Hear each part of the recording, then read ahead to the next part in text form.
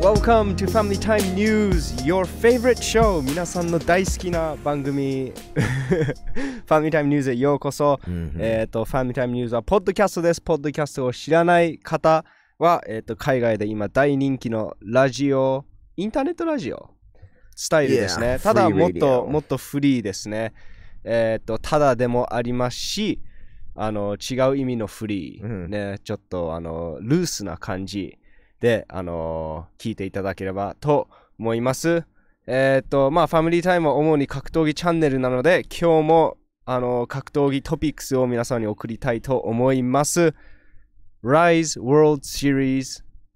Yes 昨日でしたね。そうですね。あの、日本人を勝たせないああ、言っちゃった。Rise World うん Series。日本人を勝たすために組まれてない Rise World Series、まあでも当日は Show Me Passport ハッシュタグ、解説も一緒に戦ってる。いろいろなトピックスに飛び込んでいきたいと思います。皆さんそのいいねボタンと登録ボタンをスマッシュしてください。そして意見がございましたらコメント欄でえーお知らせくだささい。僕たちはなるべくできる限りの力で、あのうん皆さんのリクエストにお答えしたいと思いますので、よろしくお願いいたします。い。うん Let's do this! Yes, Rise World Series、スワキムと那須川天心。Oh, う yes! ん予想外の展開でしたね。そうだね。いや、でも、あの、思うよりスワキム選手よくできたと思います。いや、僕もそう思います。Actually そうでもないね。僕は1ラウンドぐらいスワキムが取ると思ってた。ああ、なるほど。うん。頑張って。じゃあ、あの本番は、もっともっとセクさんみたいに攻めると思ってたんだけどね。んガード固めて膝うんあっていうスタイルで。ーなるほど。なんか、そういう風に行きたかったんじゃないの？いや、普通に蹴ってパンチ蹴よ。ってパンチうんなんか、最初の試合と同じ感じでしたね。いや、でも今回はスワキム選手、下がりながらパンチ打ちましたね。リーンバック、あの、なす1回目の戦いでうん、よくもらった、そのフックをかぶせるフック、Yes、あーカウンター。カウンターフック。はい、そう、それはスワキムが自分で使っててうん、当てましたね。ね。しうん、本当に当てることが一緒。そのフックでもこのジャブでもうん、当てましたね。たまにステップしながら打って、たまにリーンバックうん。うん。しながらジジャブ出し、してて、うん、ジャブして。うん、そう、それで、あの、那須川天心のスーパー右オーバーハンド。左オーバーハンド。左オーバーなの、那須川天心の。でも右だね。え？サウスポーだから右じゃん。でも、いつもやってるのは左だよ。うん、右。うん那須川天心のインスタフォローしてる人はわかると思いあます。ー練習してたのは右右右右。だったかもしれないけど、試合でいつも出してるのは左ですね。ああ、そうか。フリッツ・ビアクタンに多分ライズンで出してたやつは左でしたね。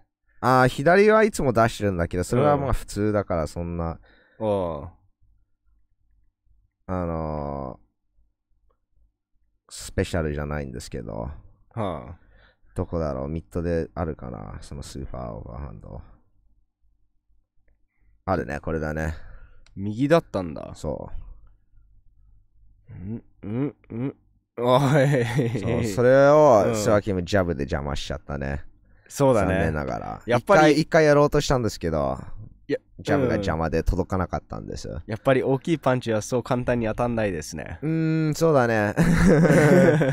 あーまあね、そうだね。うん、あーえっと、何の話だっけ？そうそうそう、スワキムだったね。スワキムパンチ当てることができました。うまく対策してましたねうん。ストレートもフックの後当てましたよ。うんで、那須川天心のストレートも避けて、結構紙一重自で。分がストレート出して、最初はそのストレートを避けて、那須川天心自分のストレートを打ちましたよね。ストレート、うんスリップストレート、カウンター。それをスワキム選手が今回ガードでブロックしたり、そのカウンターを避けて自分のストレートをカウントしようとしたり。そう、パンチのレベルが上がったっていうことですね。うん、うんまあ。でも、その本当に前に出て自分から行くパンチはあの当たんなかった。まあ、さすがに、天心選手もね、うん。上手なんですうんので、うんあのー当たんないですね。そういうのは。結構慣れてると思いますね。さっき幽霊がドア開けようとした。Ghost。映ってなかったと思う。Go away, ghost。Ghost。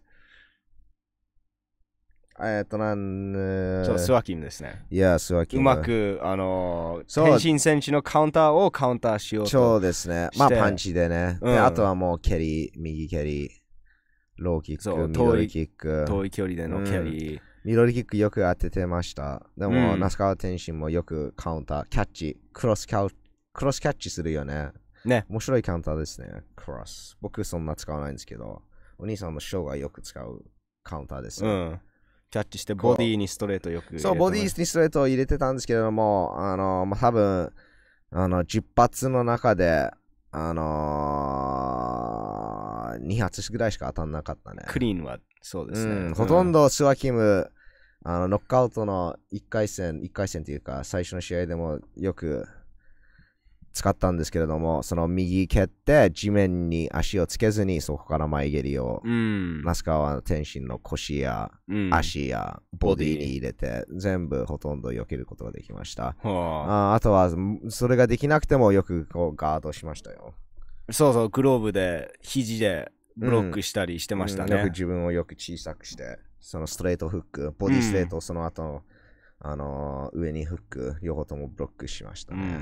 んだから本当にすごい1ラウンドドローでもおかしくなかったと思います。いや、にあ、那須川天心が勝ったかもしれないし、2ラウンドドローでもおかしくなかったと思います。かなりね、五分五分でしたね。うんなんかいい戦い。で、も2ラウンドの後半の方からスワキムがちょっと当ててきましたね。はい3ラウンドの3ラウンドちょっとスワキムの方に寄ってたと僕は思ってました。うんうん。でもそこで、かなりバックアンフォースでしたね。うん、あのスワキムがちょっとペースを取って、ナスカワが取り返して、うん、スワキムがまた取り返して、で、なんか、そうす、あの、那須川天心のパンチがよく届かなかったんですよ。そのワン、ツー、スワキムが。うんスワキム長いんで、それ それからステップバックすると、もううん全然届かない。うん。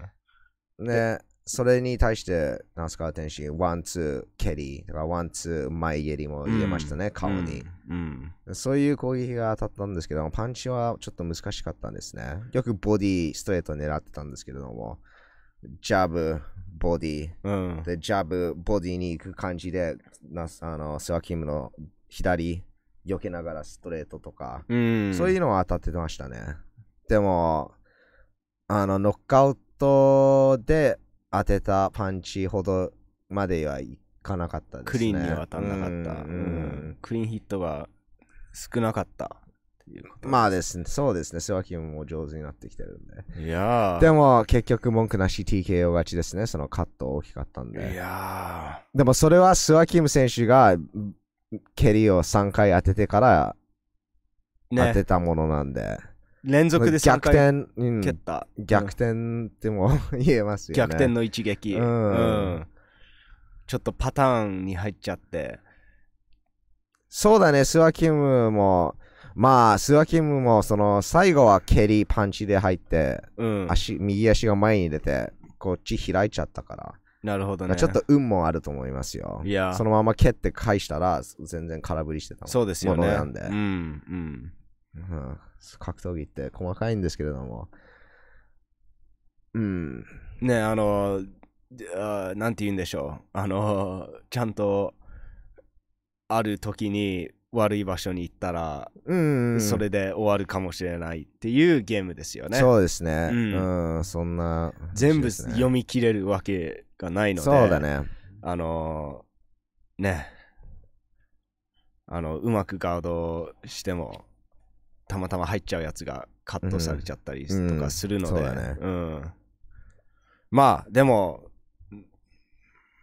その胴回し蹴りっていつも駆け逃げ？っ って言われてるけど天心選手だけがなんか結果出してますねその技で 確かに。うん確かに。あのダメージを与えたり今回はカットもできたので難しいテクニックですもん。いやそうですよね、うん。いつも当たんないもん他の選手がやれば、ボタって落ちてちょっと時間稼ぎになる。そのボタって、なんかそうちょっとルール変えてほしいね。そのボタって落ちてすぐ蹴ったら OK っていうルールとかがいいと思レフェリーが入る前に蹴蹴ったら蹴れたらいいんじゃない？OK そうですよ不ね。公平だから、ボタって落ちて、おーってなって、ね立ち上がって、せせせちょっと。ねえ、なんか、か、1回しかできない。2回目イエローカードもらう。まあ、それも、それも OK ですよ、ね。何回も何回もやってもらったらちょっと困るじゃん。それは困りますよ。そういう試合も危ないお倒れた。ねえ、ねえで、攻撃当たってなくて勝手に倒れるとダウンじゃないので、でも、あのーそうですよね。本当は、本当はダメなんですよね。うん。キックボクシングはちょっと、それに対してルールがないと思いますね。うん、そうだね。ムエタイ確は一応ダメってなってますね。あ、そうなんだよ。ムエタイもダメね。ボクシングもダメ。うん。うん、グローブ地面にタッチしたらダウンですよ。まあ、タッチしてないけど、ただ回転して倒れてるから。うん。もうでも、まあ触るじゃん、グローブが。まあね。まあ、膝かグローブが触るとダウンっていうルールが一う応ん。あるんですけど、まあなんかやってほしいですよね。何回も何回もねうん ダメですよねい。やうー、ん。いやいやいや、それはね、それは困るよ。But, it's still, まあでも今回はいい直いい撃たよ。直撃してカット TKO 那須川天心 VS シロ選手になりましたね。いやー、白とル VS ルンキット。おお。うーん、そうだね。それに行きますか？そう、白とリン、yeah, let's do that. Okay. Let's just run through these. 白、ルンキット、あー1ラウンド、ルンキット、2ラウンド、ドロー、3ラウンド、白で延長で僕は当てたと思ああ、うんで、延長戦はちなみに。う。まあ、白じゃん。ああ、うん。あイーブンで、イーブンだから前に出てる方が勝つ。なるほど。うん。うん、で印象的に白選手が攻撃したくて、ルンキット選手は時間稼いで稼いでたっていう感じに見えたじゃん。ね。うん、それで白が勝ってもおかしくないと僕は思ってます。うん。でも1ラウンドでルンキット選手、ローも蹴ったり、顔面に前蹴りもしたり、飛び膝もしたしたり、いろいろ出してたんですけど、2ラウンドからただのミドルと膝から掴むえなるほど。っていうパターンに入ってしまったんだよね。攻撃がなんか、変わった。なんかミドルがあんまりにも当たってて、それだけでいいんじゃないと思ったんじゃない？うん、まあなるほどね。うん。ミドルバンバン蹴って、パンチが来たら避けてホールディングとか、ダッキングしてホールディング、うん。うん、っていう、そういうファイトに変わった。でも3ラウンドで白、ボディ効かせたね。あいの、その、三日月蹴りじゃなかったんです結局その前に、ボディ、パンチ、連打当てたんですけれども、その前に、あのールンキットの左蹴りを掴んで、そこから左ボディ入れて、うんそれが効いて、で、右オーバーハンド外れたんですけど、その左ボディが効いたと思うんです。うんで、そこからちょっと白ペースになって3ラウンド取ったね。すごく効きましたね。すごくはどうかわかんないんですけど、ちょっと嫌がりましたよね。ああ、うん。そうなんだ。やっぱり、慣れてなかったんだね、ボディが効くのが。まあ、どうなんだろう。うん、そうだね。なんか誰でもわかるような効き方うん。だったので、うん、体勢も聞いたんじゃない、うん。聞いたと思いますね。やっぱりレバーはしょうがないですね。うん、うん、いいい。左ボディが入ったから。うん。塩選手、パンチ重そうですね。パンチ重いと思います。蹴りはも重いと思います。蹴りも重いうんうんその左蹴り、ブロックからみあのローは良かったね、うん。うん。ブロックからパンチ届いてなかったんで、それ、パブロックからローに変えて。なるほど。それが良かったですね。うん。うん、その、まあそういう試合でしたね。で、そのブロックからカウンターの、あのー、なんて言うんだろう、コンビネーション。うん。チャンホリーもよく使ってましたね。あ梅野選手に対して。うん、そうそうそう。1ラウンド、2ラウンドよく使ってて、3ラウンドはうん出すだあんまり出さなかったんだよね。あでも1ラウンド完全に取りました。ー。ね。あーそう、the body、ダブル、ボディダブルフック、ボディフック、上にフック。上にフックあとねうんボディフックもよく当てて、右もフックもね、そのガードひ、ダンうん。外して、で、また左やっぱ右フックとか。右もよく当たってたんですけれども、あとローキックも良かったですよ。ローキックをもっと蹴れば勝ってたと思う思うんです。うん。そう左ミドルでパンチが届かないよ、そんなリーチ差で。特にね、でローも重いから絶対良かったんです。多分あうん。なんかパンチちょっとね狙ったしま、狙ってしまって、ひあの、あとはもう腕もかなり効いてたから。腕も効いてましたし、かなり疲れてたように見えましたね。うんあとなんか、カットとかされなかったですか？うんだ蹴りが。チャオリーの？いやいや、別に。別に、うん。そんな印象的なのがなかった。なかったと思うけど。うん。やっぱり一流選手でもローを蹴るのを忘れてしまいますんですね。うん、1ラウンド、2ラウンド良かったよ。うん。こ攻撃もジャブロー、ジャブローとか、ねうんうんつなげていって良かったよ。うん。ローも重い、蹴りも本当に重いから全部重いんだよね。チャンマリ全部重いですよね。ううん。のパンチコンビネーションが良かった。ね。でも2ラウンドからそんな出せなかったんだよね。ちょっと手数落ちましたね。2ラウン完ド手数そう、腕が効いたと思うし、うん。いいの当てても現地すぐ一発もらったらホール、ホールディングに入るし。うん。うん。うん、だから難しい試合だったね。でも、上野源氏も、あの、左使うのは本当にうまかったですね。本当に左だけで戦ってたもん。ねえ。あー難しいですよ。長く蹴りますし、左足っていうのが一番長いじゃないですか。うんオーソドックスの選手にとって。うん、でも、サウスポーからもよく蹴ってますね、左。ねあー下がりながら蹴ったり。で、なんかフェイントから蹴って、うフェイん、ント。そう、だから左だけで勝ちますね。でも、白鳥、ササウスポーだから、どう通じるんだろねえ。いや、いや、面白い意味で、あのう。、でも、あの、白鳥、ね白鳥勝つよ。白鳥勝つ。いやー、セクさうんん、セクさんの試合また見たけど、セクさんにあああいうって勝てるなら、勝てますよ。なるほどう。ん、白鳥、上手だよ。本当に上手。上手ですよね。いやー、いやー、セクさんの強いところでも勝てたもん。ああう。ん、その近い距離で、うん、うん。遠い距離でも、あのー蹴りもらわなくてすぐ返したり、うん。ローキックに合わせてパンチ当ててダウン。うん2回ともそれだったね。うんまあ、スリップとも言えるけど、蹴り中にもらってるから、でもダウンですよね。うんうんうまくタイミング合わせたから。結構うまく当てましたもんね。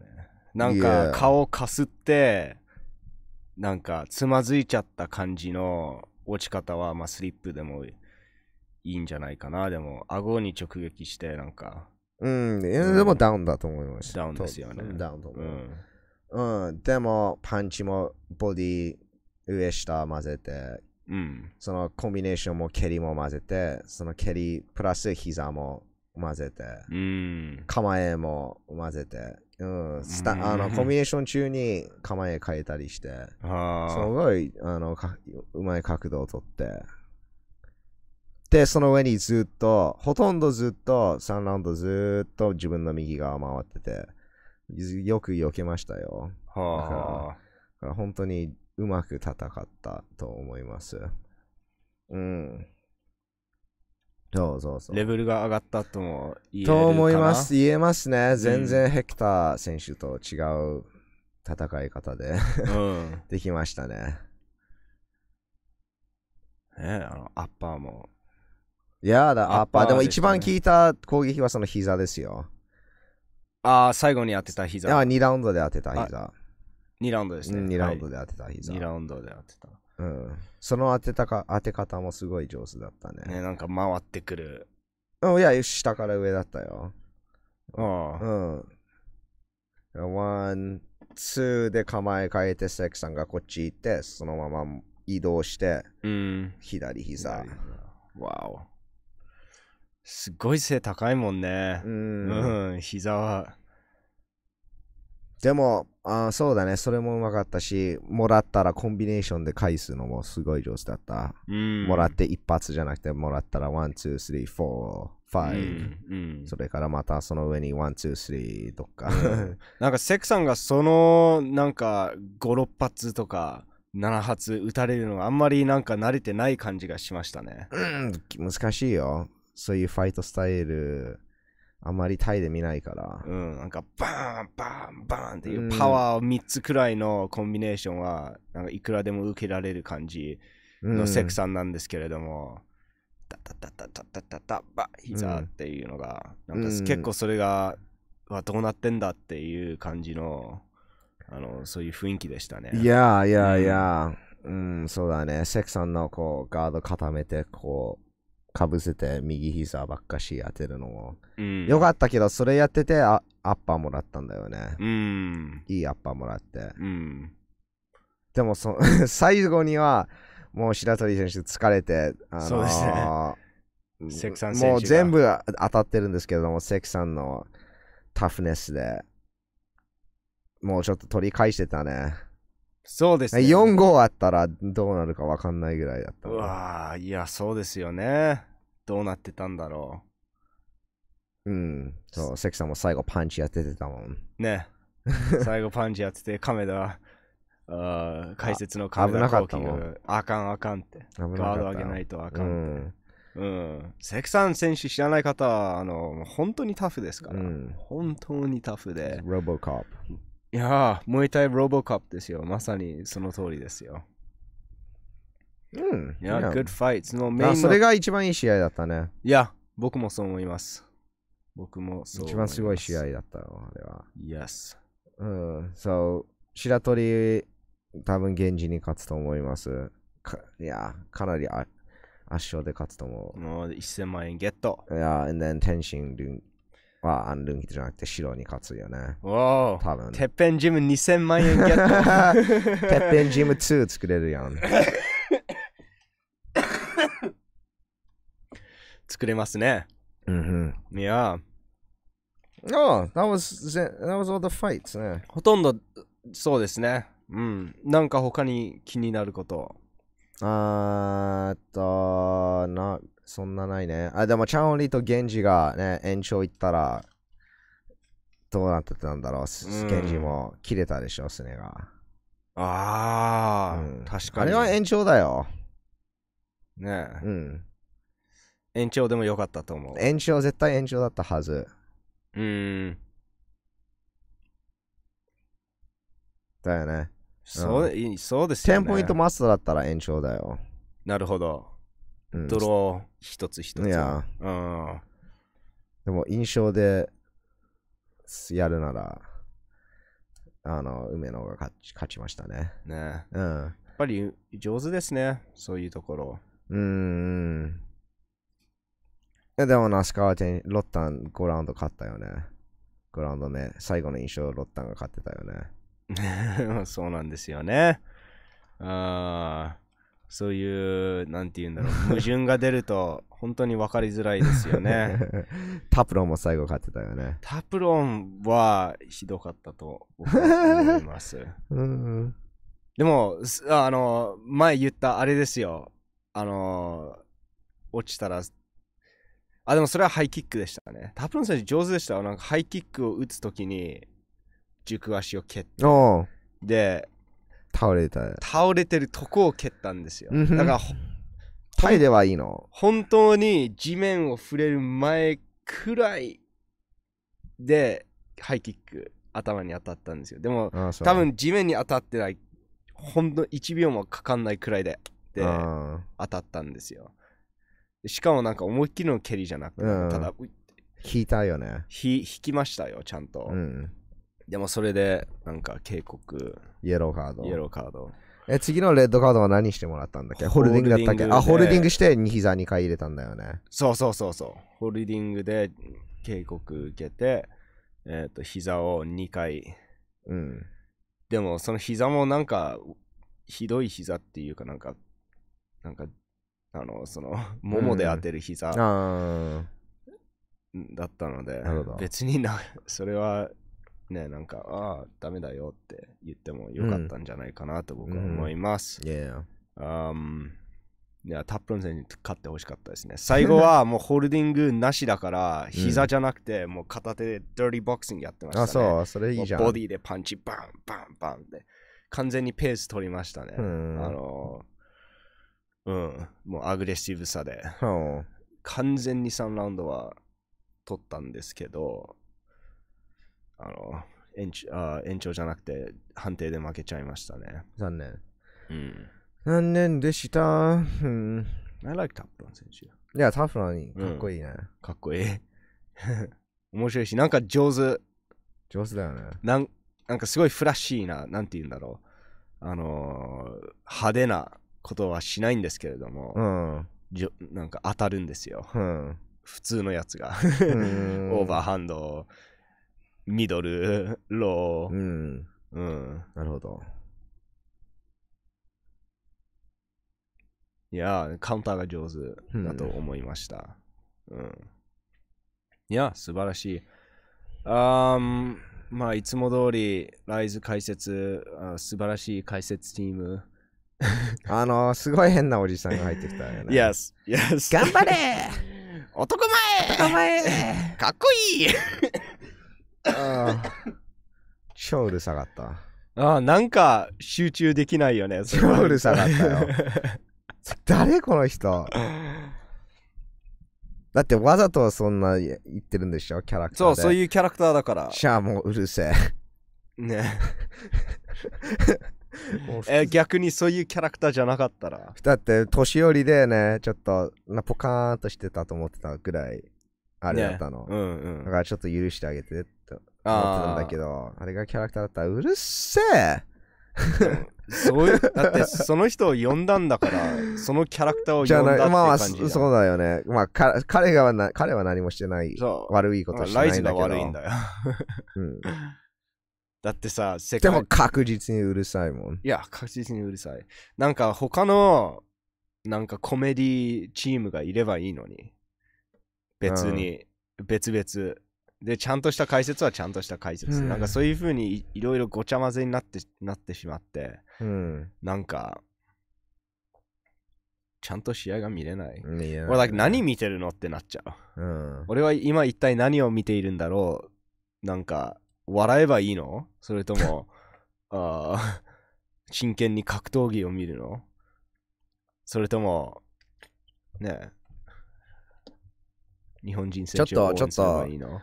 ちょっと、あの、なんて言うんだろせっかくいい試合があるのに。う。なん、なんなんだろう。ちょっと合わないね。合わなかった。合わなかった。うん。で、まあ、番組として、なんか、なななんでってって感じ。Who's the producer? うん誰が Who said 誰のアイディアその会議室に僕言いたい。えっと、Let's get アホの坂田ゲストとして。で、なんか、そういうバカなこと言ってもらいましょう、解説で。面白いと思います。いいねナイスアイディア A person needs to get fired. ファイアードはクビです。You're fired. Don't do that again. そうだよ。We want ガクト。なえそれならガクトの方がマシ。ガクト。いやスタミナがないから。なんか、なんか、なんかあの、ガクトと、うんシリーズ作んないと、なんか後で。スタミナがないあの、違う違う、あの、アホちなみに、ガクアホ、アホかか解説シリーズ。そういうのいろいろ混ぜて。あーうん。あ、いいね。いや。男前スタミナがない。かっこいい スタミナがない。うん。強引に行けばいいと思います。お、これは強引に行けばいいと思います。お、テクニックで負けてるお、じゃあ強引に行けばいいと思います。What? うわここで足をこかした嫌がってる証拠これですね。は聞いてるそぶりでございますね。My goodness. Lame. My goodness. あのー、クラッシュ見なかったんだけど、なんか中国対日本7対7だって、うん。中国4勝、日本3勝だった。Oh no. そうみたい。なんか中国が勝っちゃった。中国 4KO ってことですね。かな？どうなんだろう 一人は KO されたね。メインの浦部選手が KO 負けしたみたい。oh. 早いと、早い1ラウンド、なんだったっけ ?30 秒、40秒？へああいう時ーで KO 負けされたみたい一。発当たっちゃったんですね。どうなんだろう？まだ見てないんだけど。見たいね。多分多分いい試合ばっかりだったんじゃない？中国対日本いや、いや中国だもん。うん。Um, shout out to our good friend Brian. Oh 選 yeah, 手 Brian. あの、ムエロークで勝ちましたね、1ラウンドで。Yeah. あーそしてあの今、ブライアンはあの K1 の英語解説シリーズを作ってますあそうだね YouTube のうん YouTube で、あの、ち YouTube チャンネルに出てますようんね。かなり好きですね。うん。あのー、その YouTube チャンネル、最近、タケルの昔の試合いっぱい出してるよね。Yes! それ好きです。好きなんだけすど、面白いのが解説ですよ。解説完全にタケルの応援してない。あ反対ですね。は超、うん超相その反対側を反対ですよ。いやー、こういうのとかさ、ち見た目とかのこと話したり。ねえ。でも戦い方はなんと言って。うんうん。うん。で、レフリーもね、すごい。そう、厳しく、厳しいホールディンよ。グなしとうか、ん。あの、キャッチング。タケルの態度のこととか話したりして。ねえ、いやで今はさ、うわ、笑ったタケルの笑いが見えましたうわ、笑ってる王者が笑ってるこれは、まあいいんだけど、タケル、まあしょうがないけどタケルがそんな K1、それでも K1 がそんな好きっていうのがよくわかんない。もう K1 がトップだもん。まあそうだけど。格闘技団体で。まあそうだけど、うん最初はタケルのこと応援してなかったじゃん。ね。ね。うん、でも、マサトもそうだったじゃん。で、いやだからマサトそんな K1 愛してないんじゃん。まあ、そっか。まあ、そういうか。でも、戦ってる間は、K1、K1 だから、引退したらもう、いや、K1 じゃなくて自分でしょ。まあ、そうだね。そうだね。マサトはやっぱりちょっと違うキャラクターでしたね。でも、それ、あの、タケルの話に戻りますけれども、あの、それを全部さ、勝ち抜いてさ、うん。スターになったタケルもすごいですすよ、ごいよ。そこが天心選手よりちょっとすごいっていうところも言えますね。うん。言ってないんだけど、そこも、天心は、まあ、なんとなくずっと押されて、あの、バックされてますよね、ライズから。ライズ、そうですよね。あの、まあ、間違いなく天使は勝ってますけれども、うん。みんなに。あの、でも、でもね、ちょっと違いますよね。違いますよ。ううんん。違いますよ。なんか、自分が負けるための試合ばっかり組まれてさ、それは厳しいよ。それを、その、タフマンスタイルで、うん。あの、文句なしの勝利を得ているわけですから、だから、タケルはすごい。そういう意味ではすごいですね。うんううんん、そうだよ。でもタフですよ、誰ともで試合するのは。で、那須川リリーも、あの、那須川天心の妹。妹はいそう。だって女子ファイターそんな多くないから、はい誰でもとやんないといけないじゃん。なるほだからど。このまあ、誰でもっていうのはみんなと。みんなっていうこととですねうんうんだから前回は、なんだろう、ベテラン、多分40戦、30戦やってるベテランとやって、それで判定負けですよね。それはしょうがないしょうがないですんだけよど、だけど、だけどみん外からね、見てる人は、あ、負負けた。けたってしか言えないでしょ。ねで。も、相手選べないと、こう50-50でしょ。そうですね、あのー、あ UFC 世界王者、多分一番偉大なチャンピオン、GSP、ジョージ・うんラッシュ・セイント・ピエールも言ってましたね。あのーうんみんなと戦うと、チャンピオンになれるわけないって。うん。なれないよ。うん。で無敗は絶対無理。無敗は絶対無理ですね。うん。うん。だからいいジムは選べるじゃん。自分の自分の団体であれば、クロスポイントとか、うん。うん。うんレブルズでしょ。うん成績割といいよね。なるほどねで。しょ、うんでもいやでもう上になってから負けても別にいいじゃん。ーね、もう知ら、うん認知度さ、うんああれば、そファンがもういれば、う。う。うんん。そううまくやってくれるジムとうまくやってくれないジムが分かれてると思うよ。なるほどう。ん。うん。で、やっぱり、あの、スノーボールエフェクトですね。雪だるまみたいな、うんあの、スター選手をさ、あ戦績のいい選手が自分のジムにいたら、ジムもそうやって有名になってきて、うん。選手もどんどんそこに来て、それを勝たして、うん。でも負けるジムはさ、誰も行かないし、うん。あの、そプロ選手も減るし、うん。で、どんどんどんどん下に行ってしまうっていう。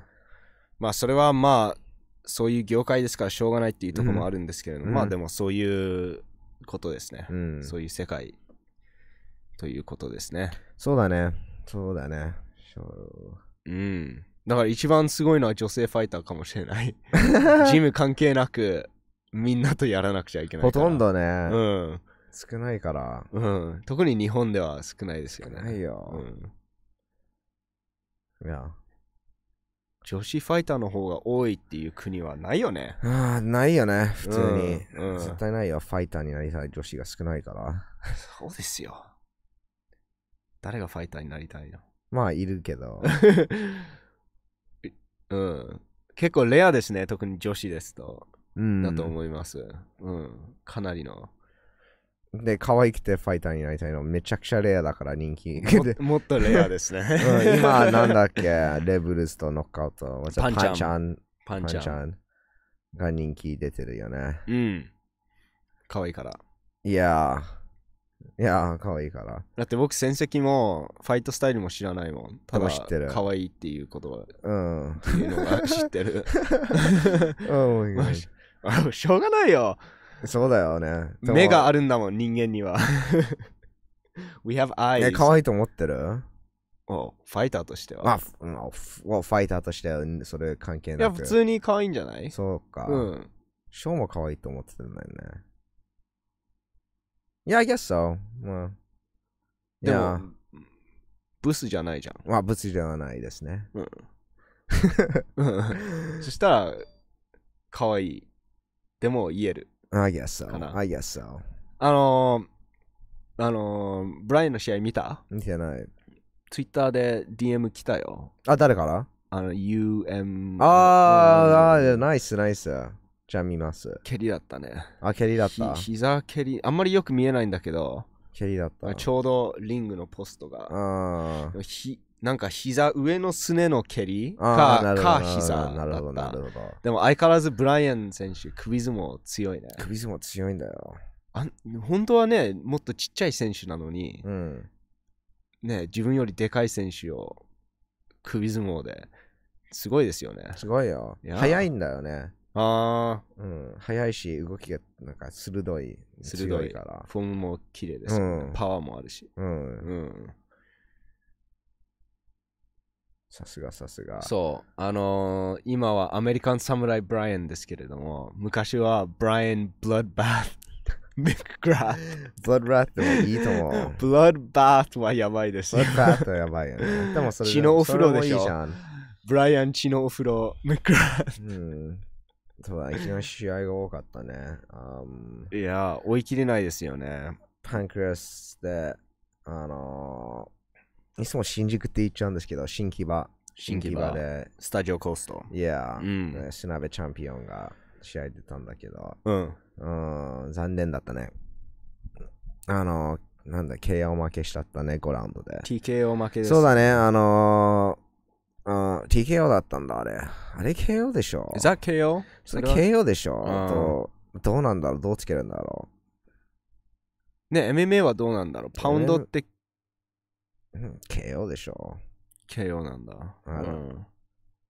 いや、probably. なんかすぐだと KO だよね。そうだよね。あーまあ、5ラウンド行って判定で負けるところだったんで、リスク取って、ひ飛び膝入れようとして、そこで、そうだね、右、面白いね、右フックだと僕覚えてるんです。普通そういうひ飛び膝は左入れるんだけど、この,、うん。この選手は右入れたから珍しいと思ったの。それで覚えてるんですけど、あそこからパウンドで、あのー負けてしまいましたけれども。あ。シャラウトスノベチャンピオン。But あのーレジェンドだよね。もうすごいベテランで。そうだね。まだ、ベテランのうちのベテランですよ。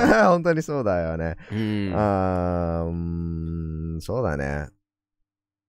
まだ戦いたい理由はよくわからないんですけども、もうレジェンドスタトゥスに入ってるから、うん。そう、それは本人しかわかんないよ本ね人。しかわかんないですなよね。んでやってるのか。うん。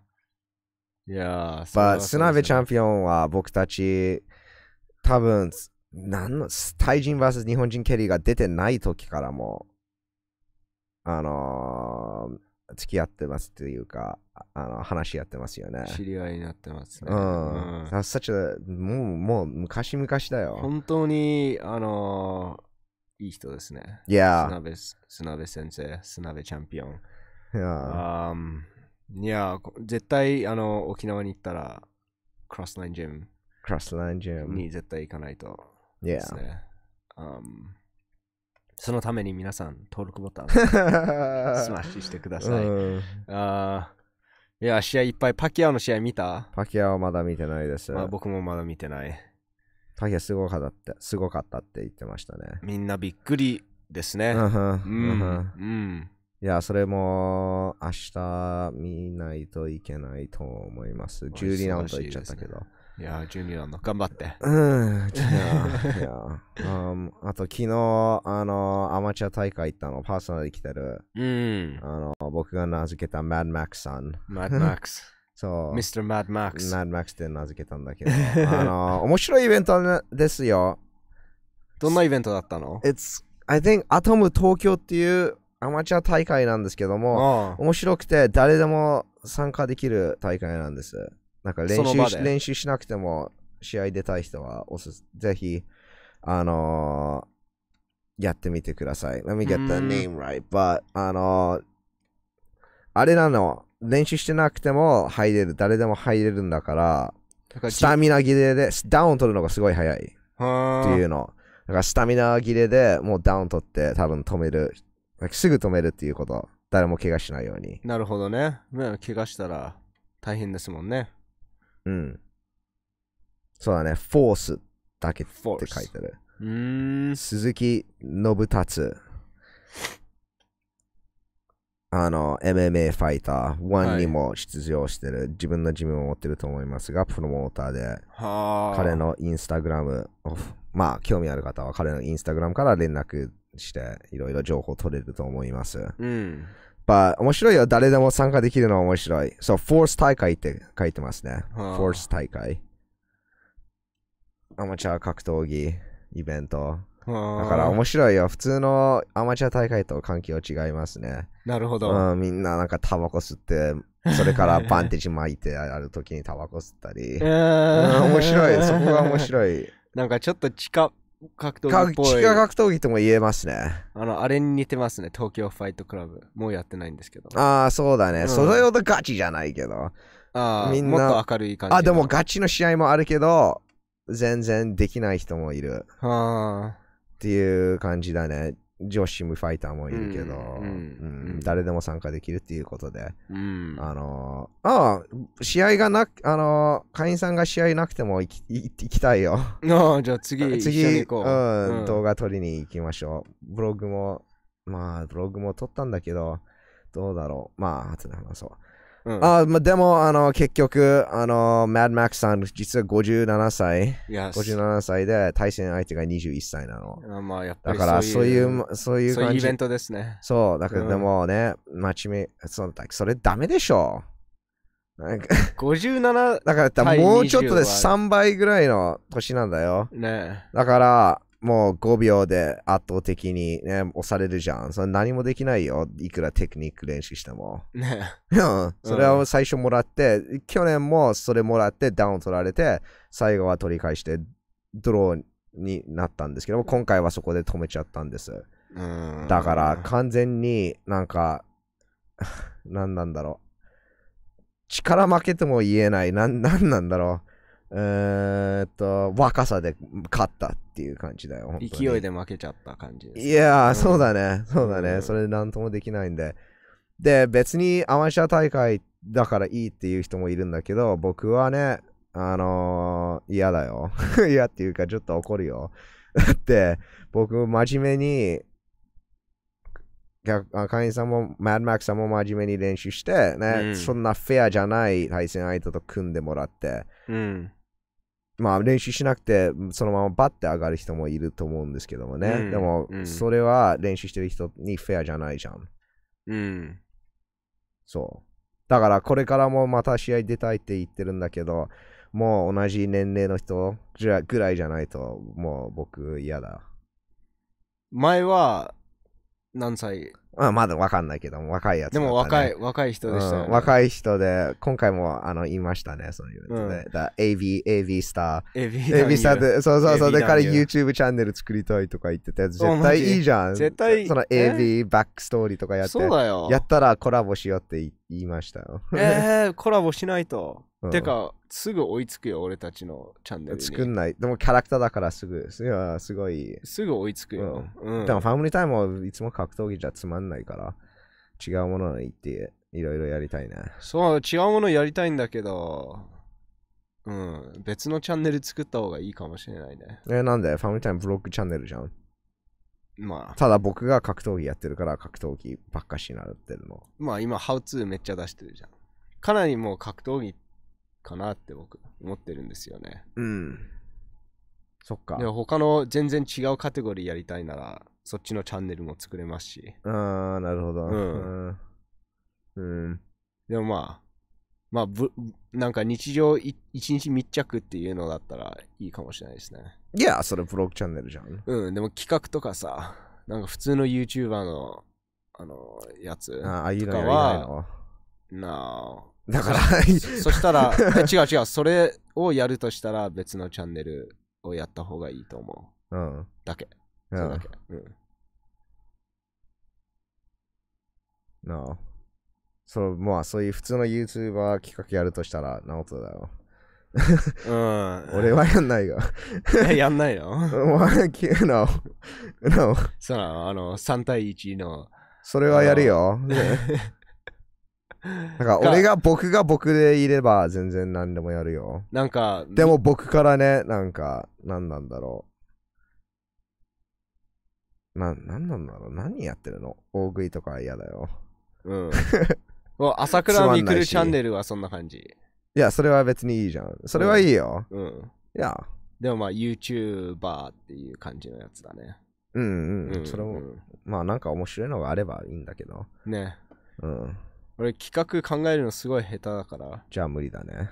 うん。だからマネージャー、マネージャーがいればいいんだよね。うん、でもそのマネージャーがもしかしたら、あー No offense、キックボクシング YouTuber のダイレクターみたいな感じだったらどうなるの？だからバイリンガル、だからマネージャー募集して好きなやつを雇えばいいんだよ。うん、そっか。うん。で、好きじゃないと使わなければいい。じゃあ、では、面白いマネージャーさん、ぜひ連絡してください。Yes うん、じゃあ、ナオトはどういう企画ができるの？まあ、基本的に僕は編集マンだから、基本的にね。あだってそういう感じじゃん。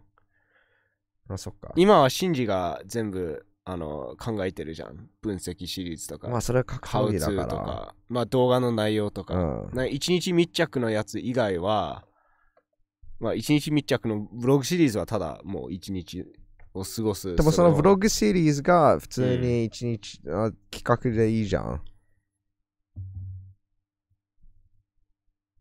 まあそうかもしれない、ね。普通に企画ってブ一日プラスその企画が入ってるじゃん。うん。じゃない？お企画によるじゃん。うん。まあ企画によるけど。でしょ？うん。一日中かかるやつだったらさ。うん。な、あれな。僕はブログに入れちゃってもいいと思いや、例えばさ、あのー YouTube でうん企画を見るじゃん。うんあこれでなんとかやってみたって、うん5分くらいの動画。う。うん。でもそれは多分、まあすぐ終わるやつもあるかもしれないけど、うんなんか7、7時間ずっと撮影してて、他のシーンとかも撮影して、うんで、そういうのをずっとやっているのが裏。うん。だから、一日密着の中にそういうのを入れるのは難しいっていうのはある。うん。もう一人。いないと。うん。うん。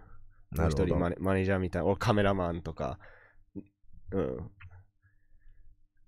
ていうのがあればもっと楽だと思う。うん。うん今、ね、ポッドキャストもやってるし、How to シリーズも、No.1 How to シリーズえ on YouTube、うん格闘技に関しては、うんっていうのを作ってるので、で、かなりクオリティ高いものを作ってるので、まあ、それが優先順位ナンバーワンだね、僕うんにとって。うん。だっていいもん、シンジの How to。うん。OK。めっちゃ面白いじゃん。わかりやすいし。いや、いやいや、anyways, anyways. ううん、うんそういうことです。何の話？はい、他の企画したいいの？え別に面白いと思うじゃん。うん。や。かもしれない。わかんない。うん。いや、anyways. あーと、何の話してたんだっけ？あ、いや、誰でもできるアマチュア大会。Yes. いや、いやいやいやいや、そう。誰でもできる。皆さんやって練習しなくてもできる。でも練習しなくても出ても楽しいのかな？楽しくないでしょ。うん、まあ、もう練習しちゃってるから、シンジはわかんないと思う。だってすぐ危ない時止めちゃうと誰も頑張んないし、リスクがないとやっぱり嬉しくないじゃん。そうなんですよね。だから苦しいところがないと楽しいところもない。うん。でもみんなそう苦しいのが嫌だから、ずっと楽しいものをやりたいっていう感じで、ずっと楽しいものをやってても楽しくない。おあのこういう考え方もあるよ。例えば練習しなくてもよくて、アマチュア試合に行けるなら、まあ、まず最初、ジムの会員にならなくていい。うん。で、まあ、いや、俺ならさ、あの俺なら一発殴って、うん絶対喧嘩なら強いと思うんだよっていうのを、もうすぐその場で証明。うん。それ、そういうのがあるから面白いうん。の。あうん僕のも言いたいことは、だからそういう人のためには面白い。うん。あ見てる方もめちゃくちゃ面白いよ。うんだから次、ず次は行こう。うん。う ん撮影許可もらっていきますよ。うん。あーえっと、なんだったっけ。で、で、でも、っていうこと、あの、そうそう、なんか、なんか嫌なことやんないと楽しくない。だから、その、毎週、お兄さんがここ、家にく来て、あの、僕と翔、翔くん、多分ブログに出てると思うんだけど、うん。あのいつも来るとき、週に1回はチートミール、ピッツァ、うん。あー唐揚げ、くね食べたいものを買って、うんビールも買って、うん。家で話しながら食うの。んそれが僕楽しいんです。うん。で、あのーす確かに、あのー外から見ると、そんなつまんないじゃん。つまんない遊びでよく飽きないねと言うんですけども、確かにそうだね。全然つまんないし、なんでこんなに楽しいんだと思うと。でも、週、ね、ずっと1週間練習して、うん。ダイエットして健康のいいもの食べて、うんやっぱりそんなシンプルなものが楽しくなるの。うん。何よりも楽しくなるの。でもそんな全然苦しくないものをやってなければそんなつまんないじゃん。ね。うん。うん。いや、僕もそう思いますよ。うん。全くそう思います。うん。えっ、と、で、どっちかとするとそういう楽しみ方も僕が好きです。うん、だから格闘家はみんなつまんないんだよ。つまんないように見える。いや、つまんないよ、外から。いや、つまんない。つまんないように見える。でも本当は一番楽しんでるんじゃない？自分は楽しいんだよ。でも外からはつまんないキャラクターになる。うん。うん、多分。でもまあ格闘家ってマイノリティじゃん。うん、確かに。うん。で、まあ多くの人はそういう考え方じゃないからもう試合やるならもうすぐ今行ってやって。あの、our good friend シロ君。あ、そう、白も出れるよ。んもうそういう感じ。いやあ疲れたトレーニングとかなしで、ただ、今すぐリングに入ってやれるかなって。さうんうん。俺たちにとってはさ、あ次、ん白にやらせてもらって動画作ろいや、今はどうかな。今結構ね、う。いいじゃん太っ。たんだよね。いいじゃん。最悪の場合、一発もらってレフリーが止めるの。まあそうだね。うん。そんな最悪の場合じゃないですよ、ね。そうだねうん、普通のスパーリングよりマシって感じ。そう。うん。でもやっぱり早く欲しいからなんじゃない？早く欲しいから。ん？いや、別にそれは別、それは、それは別にいいの。誰でもやれるアマチュア大会。それ、それがなんか言いたいポイントじゃなかったの。でも言いたいポイントはなんでやりたいの？人はそれ。の言いたいポイントは、格闘技のいいところは全部ミスしてるの。うん。まあそうだよね。うんそう。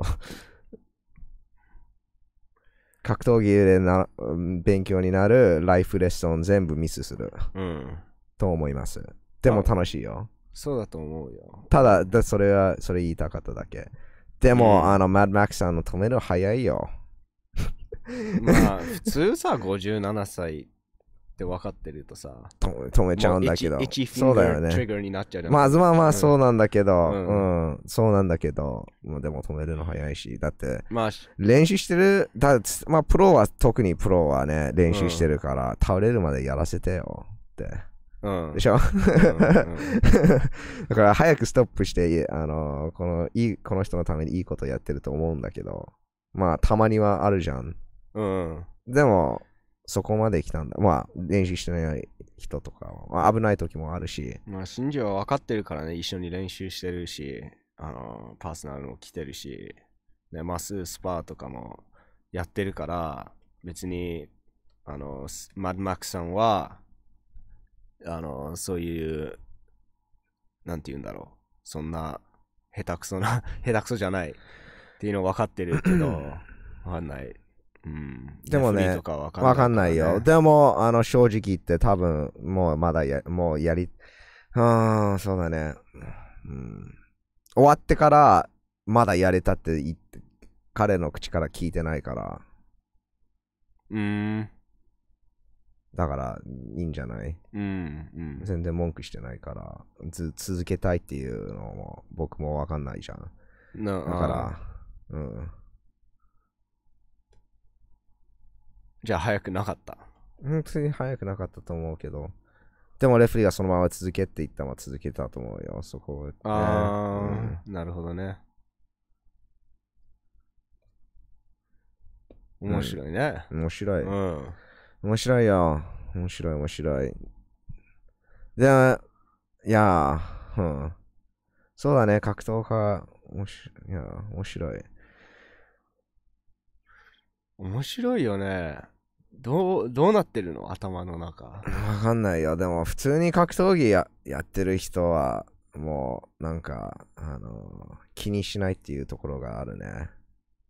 うん。みんな。それってどういうところを気にしない？I don't know, just like, like, 例えば、汗ビタビタだったら自分のシャツとかで顔を拭いたりとか、全然気にしないよ、そんなの。細かいことは気にしない。もう、it's like, そん、いや、うん。っていうこといだねやいや、うんそういうなんか性格があると思う。じゃあ逆に気にするところはどういうとこ？何？シンジが、何？格闘家が。何気にする全部気にしないっていうわけじゃないじゃん。もちろん。いや、っていうか、命に関わることは気にする。怪我そういう気にする。くだらないっていうか、なんだ、まあでもそれ気にする人もいるんだけど、うん。うん。ただ僕、まあそういう人が好きっていうことだ。そういうちょっと気にしないっていうタイプ。うん。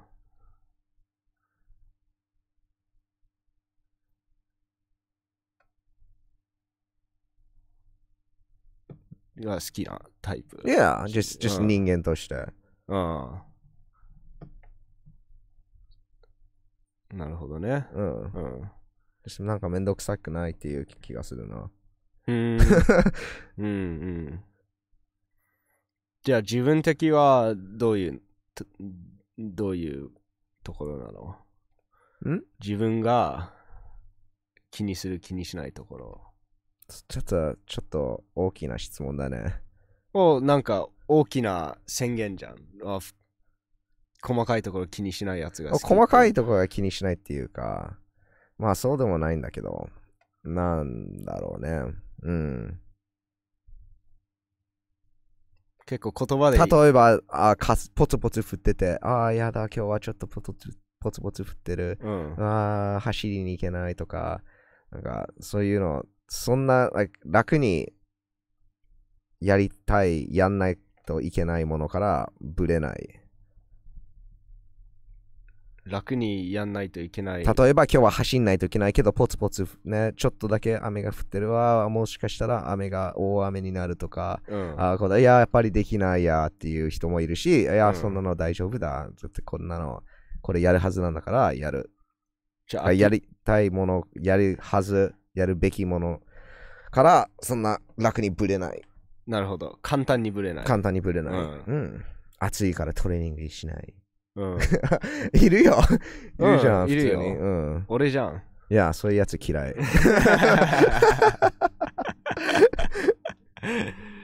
うん。でもまあ、じゅ、まあ、そういうことだね。だから諦めないやつが好きっていうこと？まあね、うん。ちょっと、ちょっとハートがないと。なるほど。で、格闘家はみんなそういうところがある。ない人もいるよ。うんただタレントで勝つやつもいるじゃん。才能で。才能で。うんそういうやつあんまり好きじゃないよ、そういうファイタうん、やっぱりファイターの中でも好きなスタイルの選手とー。いるじゃん、普通に。好きじゃないスタイイルの選手もいるんだ、ね。圧勝に勝つやつが好きだ人もいるし、うん。逆転するファイターも好きだし、うん。打ち合う選手も好きだし、みんな自分の好きなタイプいるじゃん。そうだね。うん。でも人生でも普通の好きなタイプもいると思いますよ。うん。性格、このこういう人が好き。うん。親切の人が好き。明るい人が好き。あーいろいろいるじゃん。ね。うん。うんでもファイター、せ戦う人は性格リングに出るじゃん。うん普通はよく言われてますよね。うんうん。性格が出るって、ファイトスタイルに。うん。うん。だからやっぱりその選手の試合を見て、あ、こいつはあんまり好きじゃない。だからファンになるじゃん。かうなり。ん。格闘技って。うん。いや。だからそういう、えー個人的には打ち合う選手が好き？打ち合うのは好きじゃない。別に。うーん。でも格闘技もめちゃくちゃ見てるから、もうそのレベルを超えた感じ。なんか好き嫌い、好き嫌いっていうか、見方がちょっと違うね。なるほど特。うん。まあ普通のこれができるんだって、これ、こういうのテクニックができるんだっていう、っていう見方で見てるから。かなり専門的な。ライブで友達、知り合いが出てると、ちょっと、それもちょっと違うし。うん、ううん。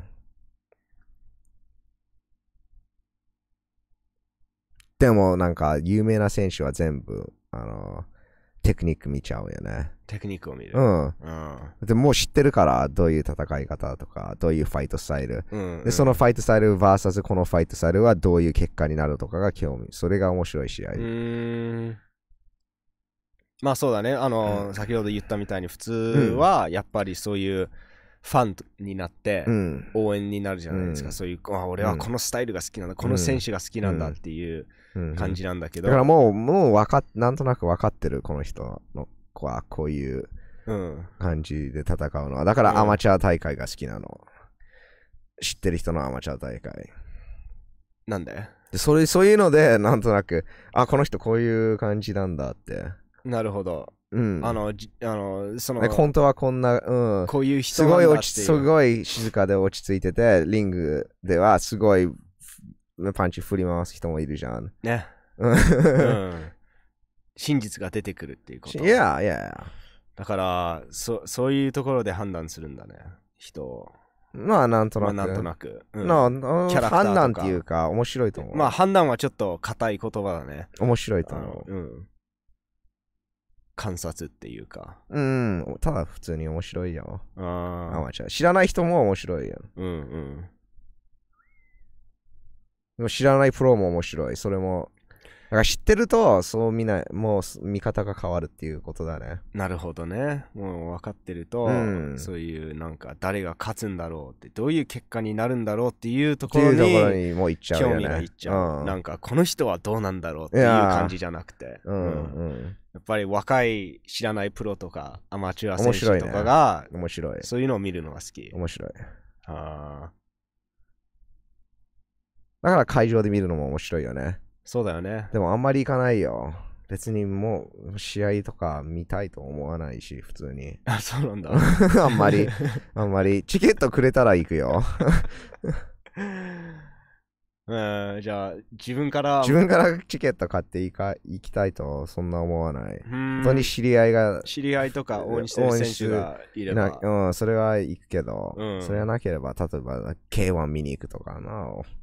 うんうんうんうん。ほら、you know ノックアウト、クラッシュ見に行くとか、全ああんまり別にテレビから見てもライブで見ても僕は別にいいから。うん。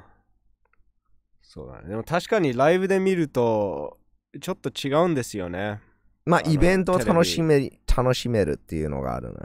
うん。でも僕は試合見に行ってるから、イベントをね、楽しみに行くよりも。うん。だから、ここで見た方がよく見える。うん、そう。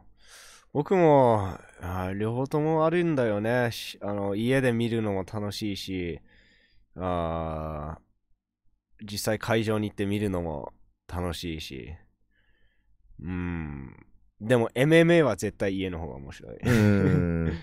なんか見えないもん、グラウンドとか。でしょ？そうだね。そうだねあの、他のアングルとか必要じゃん。うん。なんか、うん。あの、寝技とかどうなってるのとか。俺、地下格闘技見に行きたい。地下格闘技？いやー、見たことない。見たい。えっと、YouTube。誰か、誰か紹介してください。見に行きたい。えっと、団体あるじゃん、地下格闘技のアウトサイダーズっていう。アウトサイダーズ、うん、東京であるの？あるんじゃない？え、YouTube チャンネルあるよ。うん。うん。天月総合格闘技の。ああ、そうなんだ。あの、地下格闘技だと思う。う。うんうん分、地下の中で一番有名かな？それがいつもポンポン出てきてるあから。あ、うん。うん、面白いよね。いや、面白いよそういう。システムどうやってやってるのか見に行きたい。もう知り合いから紹介されないとダメなんじゃああ、ないそっか。うん、そういうのは。あ、That's the underground. tell me, tell me. DM カメラ、カメラそこだ。ああ、そっちだよね。DM, please. Twitter at FamilyTimeFT、Yes. Instagram FamilyTimeFT、yes. YouTube FamilyTime News。Alright. Yeah, Subscribe、it. スマッシュしてください。皆さん.今日も、あのー見てくれてありがとうございます。もし最後まで、ここまで見れたら、あのー、Good job! 本当に、あの、ありがとうございます。あーそうですね、ファミタイムニュース、これからもどんどん、なんかイベントあったら、何かあったら、時間が空いたら、えっ、と、どんどんエピソード出していきたいと思いますので、えーこれからも応援よろしくお願いいたします。Yes. あー最後まで見てくれてどうもありがとうございます。皆さん、we'll see you again soon. Bye bye.